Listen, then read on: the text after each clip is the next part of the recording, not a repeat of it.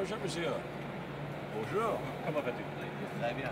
Um, It was French uh, some centuries ago here. that's right. Welcome back to Mobile. Thank you. It's a great pleasure each time. Are you satisfied with the way things have turned out? Yes, I can tell you this is a hell of a challenge to do that in less than three years.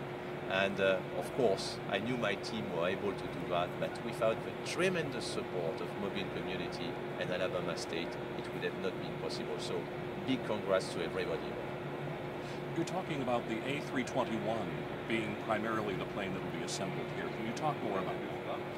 Well, technically we can assemble uh, the three members of a family, the smaller, the 319, the 320 and the 321.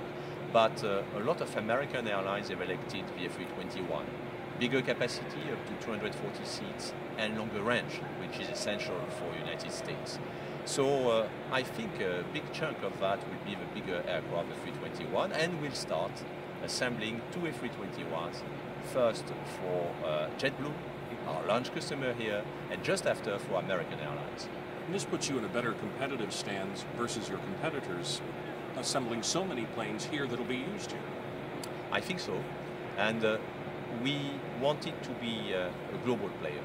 And uh, we have an assembly line in China which works very well. We are, of course, deeply rooted in Europe, but we wanted to have a strong industrial footprint. And we selected Mobile because uh, we knew Mobile was our American home since the US tanker competition. Since the EADS right.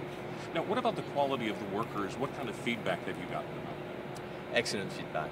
Uh, first of all, uh, Mobile has a, a lot of uh, people who worked in aerospace.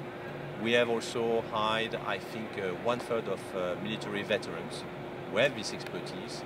Uh, so we don't start from scratch. And then uh, my uh, Hamburg colleagues are so proud uh, to train them when they go to Hamburg for some time that this is really team building.